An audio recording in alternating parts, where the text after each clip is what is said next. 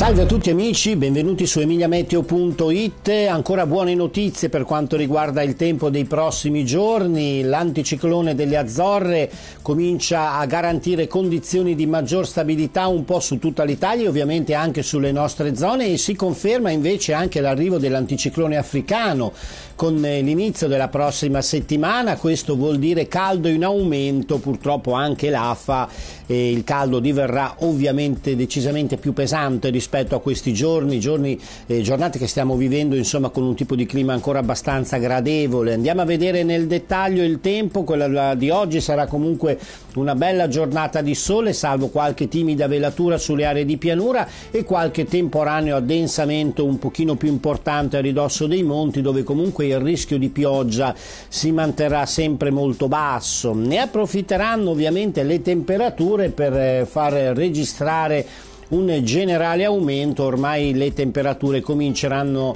ad avvicinarsi ai 30 gradi sulle zone interne, nei prossimi giorni sicuramente le temperature andranno anche oltre i 30 gradi. E successive 24 ore ancora appunto all'insegna del bel tempo eh, con qualche annuvolamento sempre possibile nelle ore più calde sui monti con rischio di pioggia comunque non particolarmente alto, diciamo che sui crinali.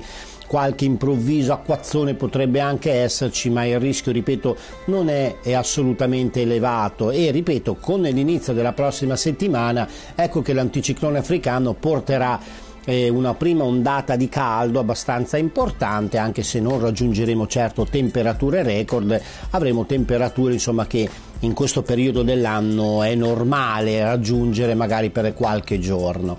Mi fermo qui amici, grazie per essere stati con noi a più tardi.